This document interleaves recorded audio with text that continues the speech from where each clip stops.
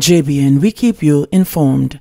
I am Michelle Jones, and in the news, six shot, three fatally in Clarendon.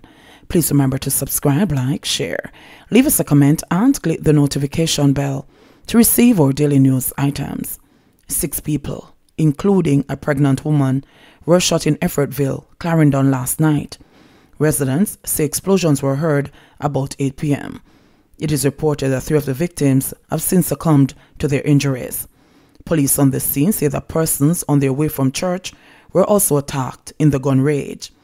Two of the deceased have since been identified as Evriel Mitchell, otherwise known as Cootie, a baker and a mason of Leon Avenue, and Michael Henry, also known as Shotty, a taxi driver. A woman who reportedly went outside upon hearing the explosions was also killed on her veranda.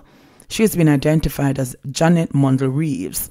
Henry's 95 year old father had to be rushed to the hospital following news of his death. According to residents, Henry and Mitchell were having a discussion when they were pounced upon by gunmen who demanded phones. An aunt of the pregnant woman said that the expectant mother is in serious condition and is undergoing surgery. Investigations are ongoing. JBN, we keep you informed. Please remember to subscribe, like, share Leave us a comment and click the notification bell to receive our daily news items.